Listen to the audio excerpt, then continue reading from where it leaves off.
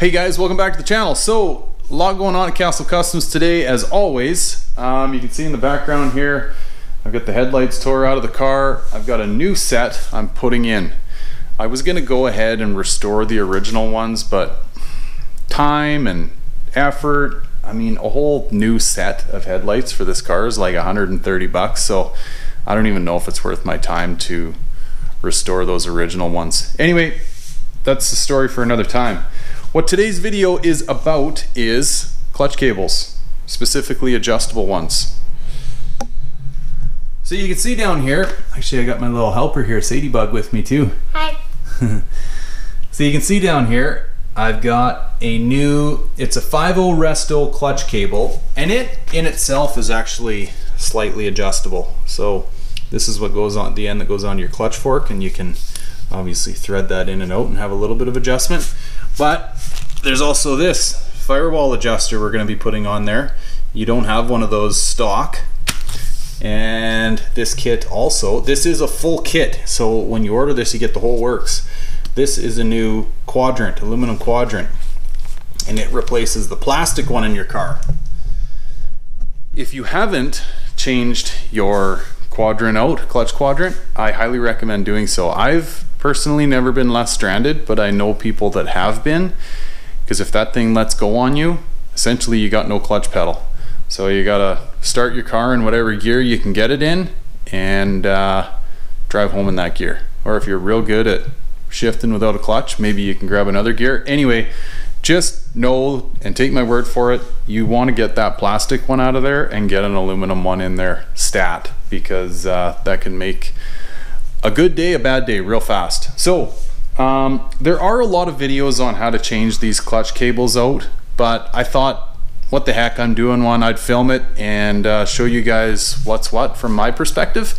And it's always good to have a couple different resources. Maybe you catch something in my video that you wouldn't have in other people's. So without further ado, guys, I'm gonna get you underneath the car with me and uh, I'm gonna do my best to show you what I'm doing. It's gonna be a little tough, but uh, essentially we're gonna disconnect the clutch cable from the fork underneath. We're gonna work our way up. Um, there's the bracket here that goes, uh, attaches to the inside of the, almost like the wheel well area. Um, and then we'll get inside the cab and disconnect the cable from there, put the new one in, whatever. Anyway, follow along guys, I'll get you under the car with me. All right guys, first things first here. So we're down at the bell housing. And on the side here is this dust cover. It's got a 5 16 kind of bolt screw holding it on. Now these dust covers can be a little bit of a pain in the butt to get off, especially if yours has never been off, but they slide back and then there's a there's kind of a clip that goes into the top of the bell housing that you gotta wiggle off.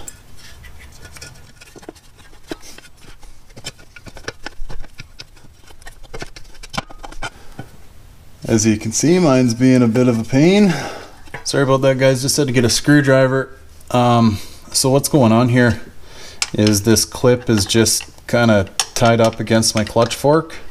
So I'm just going to pry my clutch fork in a bit. There we go. So yeah, this is the clip I'm talking about. It, whatever, just kind of gets hung up in there sometimes, but yeah, it hooks into the bell housing. Anyway, pop that guy off.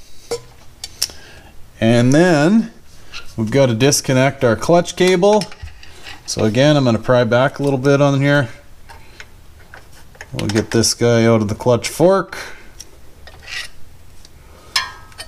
And then there's a clip right here see if I can get you up there and show you. There's a clip that holds your clutch cable into the bell housing. You got to pry that out. I don't have the proper screwdriver here for doing that, but let's just see if we can get it. Oh, look at that.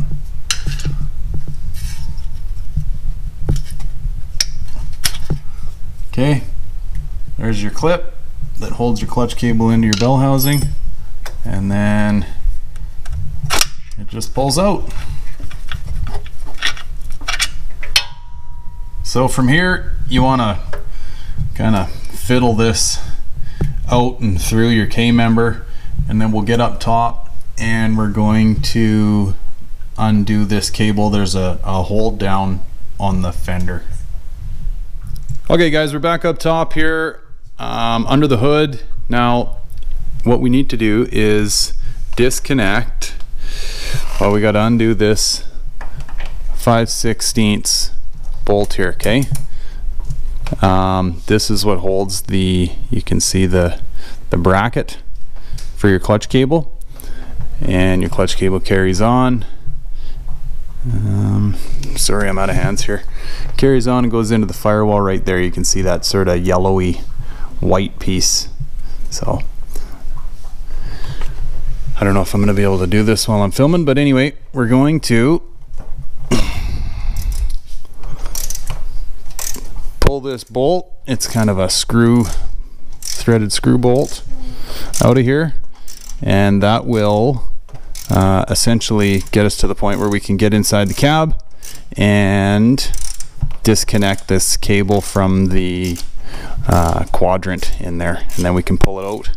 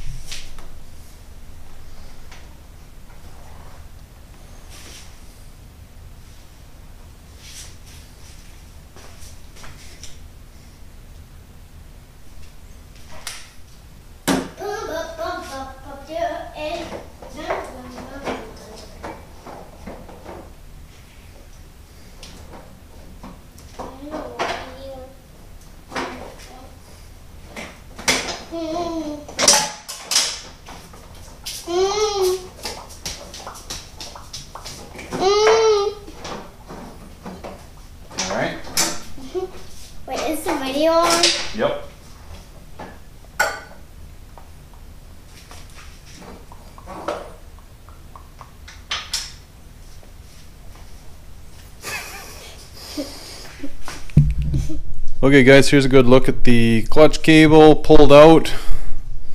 So this is what goes to your fork. And in comparison to the new one, I'll show you here real quick. You can see there's no adjustability whatsoever on this. This is what I was referring to earlier. So you've got this whole threaded portion that you can actually adjust your pedal a bit. And then, like I said, the added benefit of this guy is you can adjust it that much more. So, um, and this is the portion that the clip goes into in the side of your bell housing. And this is the bracket I was referring to that this little bolt holds to the inside of your um, well it's right above the K member there so anyway um, so that's that now um, in order to get this guy out of here so you can see that's where it goes into the firewall but you unhook the cable from the inside of the cab so I'm going to take you in there next from the quadrant and then you can pull this whole cable out of there all right, just quick here, guys, before I get you in here. Um, we're going up and underneath, essentially by the um, accelerator pedal. I have the added benefit of the seat being out because I've been working on the interior of this car and I restored the carpet. Anyway, um, having your seat out makes it a little easier because you essentially need to be on your back, working up under there, and it's pretty tight.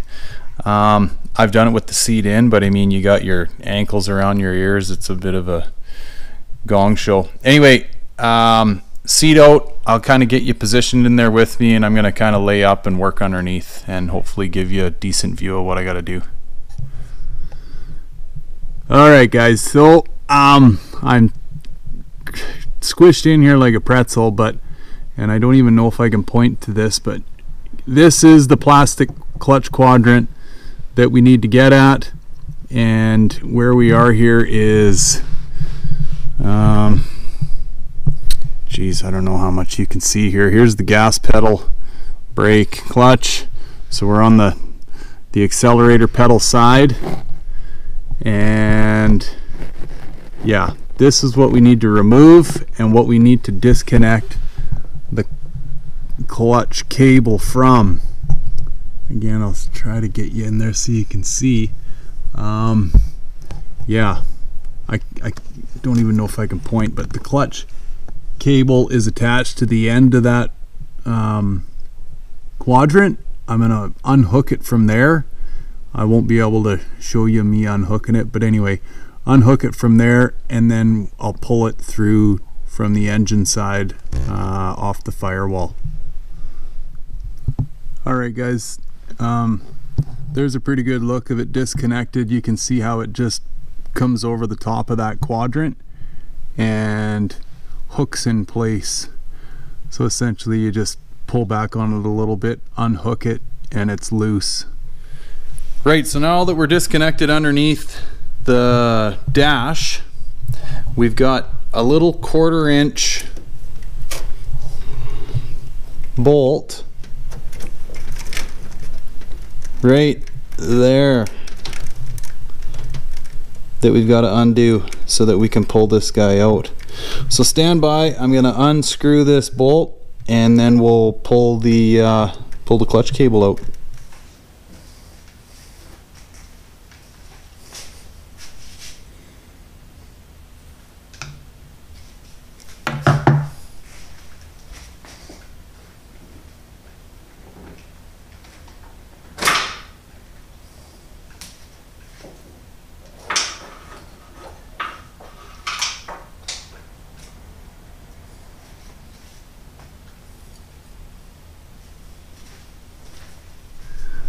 Okay guys, clutch cable is out. You might even be able to see some daylight through the firewall up there.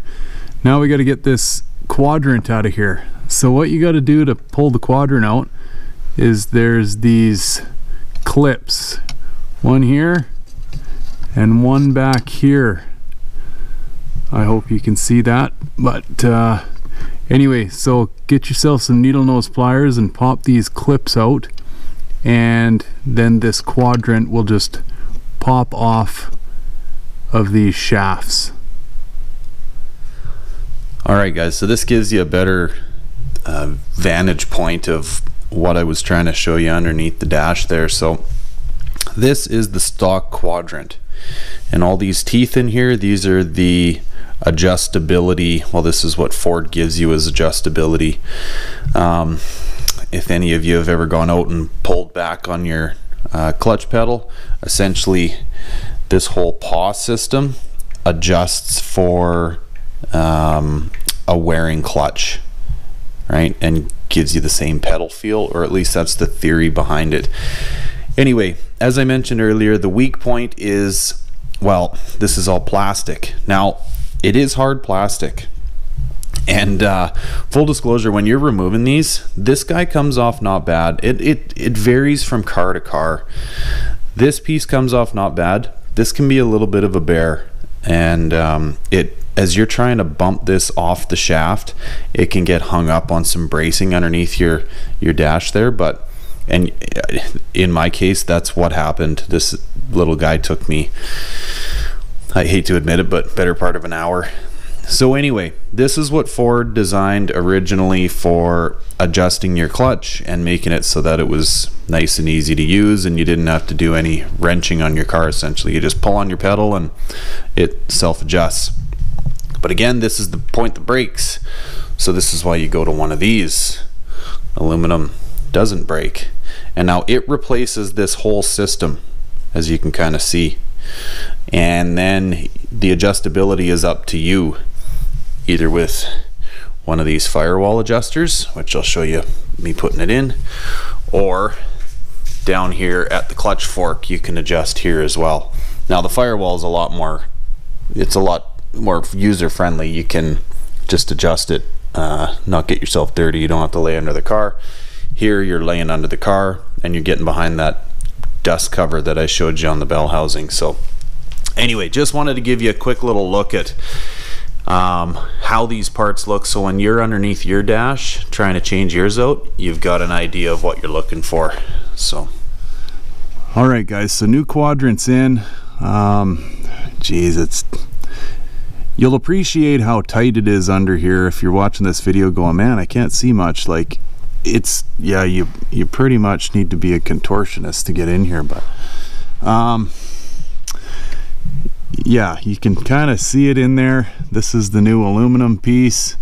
Um, I'm hoping I can edit this to the point to show you that I actually put, these weren't supplied in the kit, but I put some washers on the shaft, both here and at the back. So, and I should also mention the kit comes with a bit of a sleeve that you put on this front shaft just to make the whole quadrant square in there. So sleeve on this front shaft that the quadrant came off of, not the back one where the pawl came off of, but the front one. And then I've put the quadrant on. Um, you kind of have to put your clutch pedal all the way to the top in order to get that quadrant on the back shaft. Put it on the back shaft and then the front. And then I've put, you can see those brass colored washers. At least I hope you can. Just to like I say the kit didn't come with them but I put them on there because there was a pretty good space and I wanted this clutch quadrant to sit square and I don't want to hear any rattles as I'm driving down the road. So um, on the front shaft I put one washer and then the the cotter pin. Uh, and on the back I've got one two three four five washers to uh, close that gap up. So anyway, I hope that gives you a good picture of what's going on in there.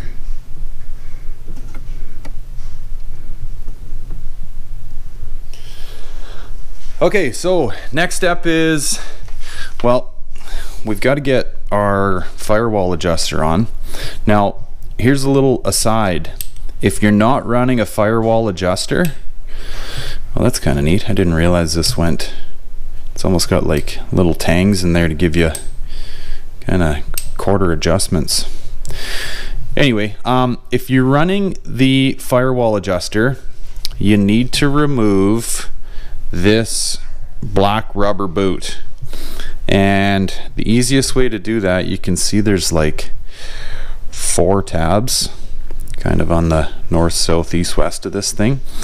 You got to get rid of those tabs. You got to file them off or hit them with a set of side cutters and then this rubber pops off.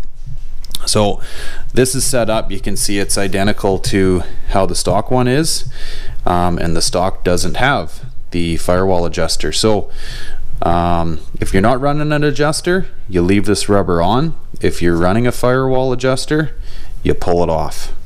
Okay, so I'm going to go and uh, peel mine off. I'll show you what it looks like once I've got it off here.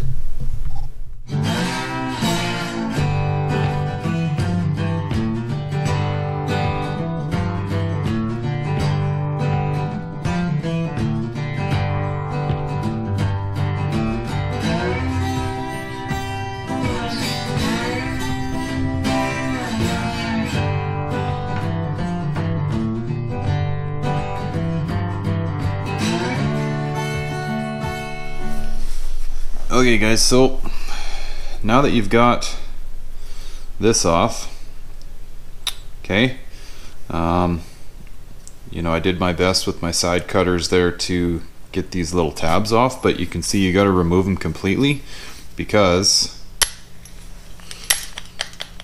right, this won't go on there. So anyway, I'm going to take a knife and just uh, shave these guys off of here. Nice and clean.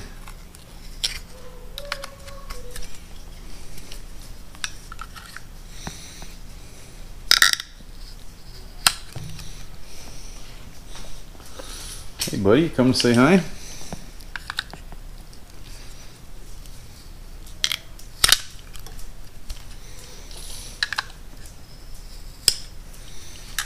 Okay, and then try it. There you go. Nice and tight. Okay, so now get you under the hood with me and we'll throw in the firewall adjuster and then get after hooking our cable up. Right, so now here's the adjuster guys and you can kind of see this thing looks like it either goes on one way or many different ways and if you're going to go with the latter of those two options you are correct so this adjuster from what I gather is um, multi-purpose and fits a whole bunch of different years and models so don't get lost in the fact that there's three holes and all these different flat flanges and round flanges. Anyway, pick and choose the one that works the best for you. Um, in my case, I believe this is going to go on the car like so. So this flat spot, uh, see if I can get you in there, is going to go up against, there's like a, a crease in the uh, in the firewall there and this flat section is going to go up against there and then I'll run a screw through here into the the hole that Ford gave you and tighten her down oh and I mentioned earlier that this thing's got like almost a a quarter inch ratcheting type system to it well as it turns out there's a little set screw in here with a spring and a ball and that's what catches in these little uh, channels or grooves you can see in the threads. Kind of slick. But yeah, just be forewarned, if you go to back this adjuster way out, which I was going to do to install, the little um, ball and spring are going to come flying out of there. So, um, and I don't really, this is going to be really tough to back this all the way out, get this uh, little ball bearing and spring back in there and then put the adjuster portion back on. So I'm going to try and get it in there like this. It's going to be a little tight as you can see. I got to get past this to get the screw in here. But anyway, we're going to give it a run. And I think this is going to take a little bit of a love tap with a hammer to, to get in. It's a pretty tight fit into the firewall. I already test fit it. So anyway, stand by here. We'll, uh, I'll try and show you guys how I install this here.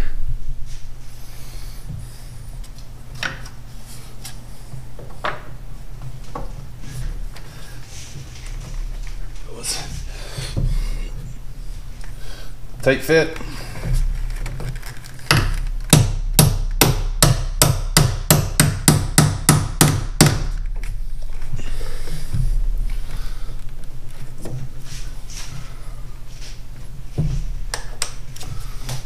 There it is. So I'm just going to run one of those screws in. Which, being as tight as it is, I don't know that a person really needs to run one in there, but uh, I will just to be safe. Here's the screws they give you. I mean, I guess it is what it is, but looks to be more of a wood screw than anything. Anyway, we'll uh, we'll do as they say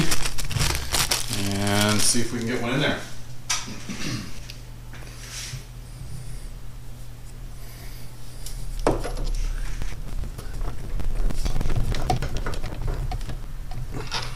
Okay. Now I'm gonna turn this adjuster all the way in and the reason being is adjust or out is what is gonna adjust this um, clutch cable uh, tighter. So you wanna run it all the way in before you put your cable in. Quite a bit of adjustment on this guy. Okay, all the way in. I'm gonna take my cable and we're gonna fish this through and go and hook it up on the other side. So yeah, you just kind of wanna drape this guy in to where it's gonna be. Well, yeah, it might not be a bad idea to do it now.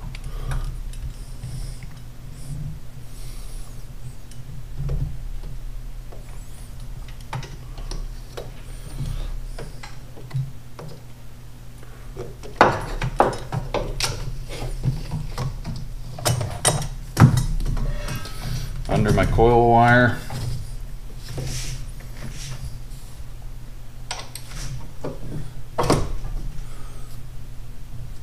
Okay, um, I might not attach this to the to the wheel well here quite yet. just because I got it's a stiff cable. I got a feeling I'm gonna have to uh, get a bunch of movement out of it to get it through the K member and back over to the transmission. But um, what I'll do now is I'll get you in the cab and just uh, we'll hook that the one end of the cable up so then we can get back underneath the car and, and hook it up to the clutch fork. All right, guys. So once again, back in the uh, tight quarters here, you can't really see a whole heck of a lot, but what I wanted to show you here, um, hopefully, is that, yeah, I don't know how well you're gonna see it there, but um, I've put the cable on the second of the two notches that are available to me the second being the one closest to the firewall and the reason being is um, you're going to have all the adjustment you need at your firewall adjuster and or down at your clutch fork. So I didn't use the first of the forks that are available to you because there's two. I used the second one. So you can see my just see the head of the I think you can anyways just see the head of the cable that it's on there right? And attached. And be careful with it because it's kind of a pain to get on there.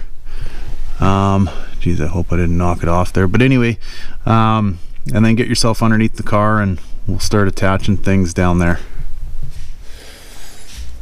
Okay guys so at this point yeah you're just kind of going in reverse order of where you started in that you want to connect your bracket back to the uh, fender apron here.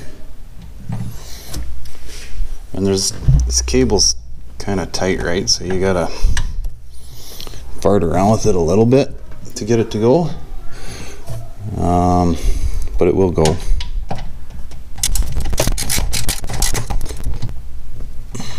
Okay.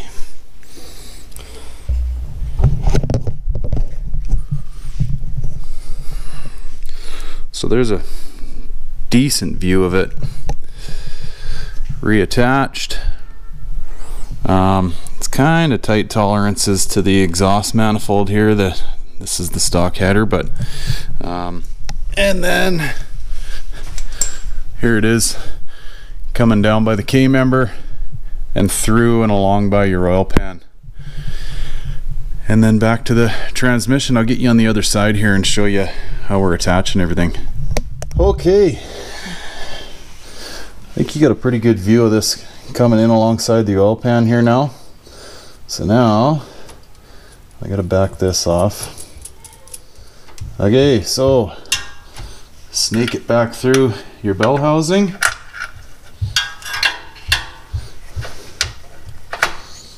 And in. Then we're gonna take our clip that we removed earlier. Reattach that guy. We're almost back on there.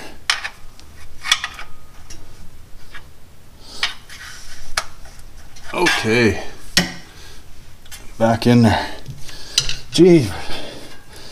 Right, now run this guy through your clutch fork. Um, I'm just gonna pop over there. No, just so what I'm gonna do here, guys, is just essentially get myself tension on the clutch fork here and then I'm going to do the rest of my fine tuning up top at the firewall.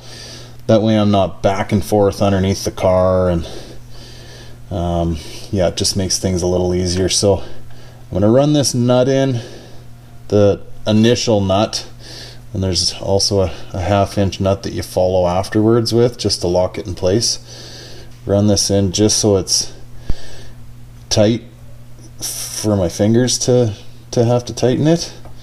That should allow enough tension. And then I'm going to run my locker nut in on top of that and just sandwich them together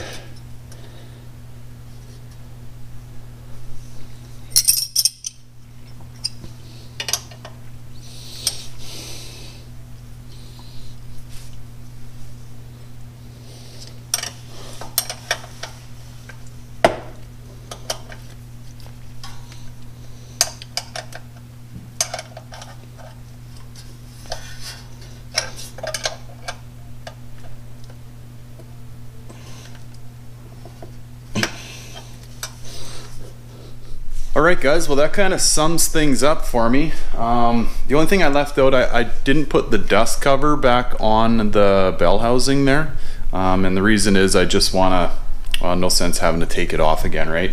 As I go to adjust my pedal and the firewall adjuster and make sure I got the right amount of pedal. Um, I just want to be able to roll under there and just make sure everything's good to go.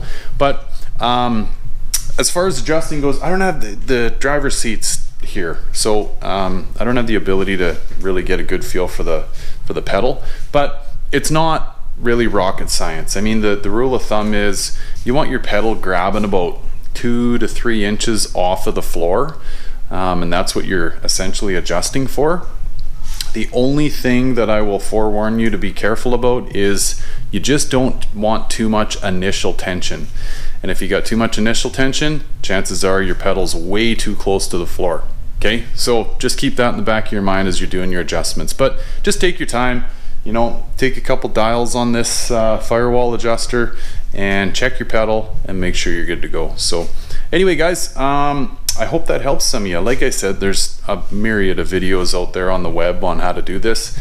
These cars, uh, maybe don't quote me on this, but like, for I think from the late 70s to almost like 2000s, early 2000s. Um, it's the same clutch cable. So um, this kit from 5.0 Resto and uh, late model restoration applies to a lot of different cars. And I think you probably got the sense of that as I was putting that firewall adjuster in.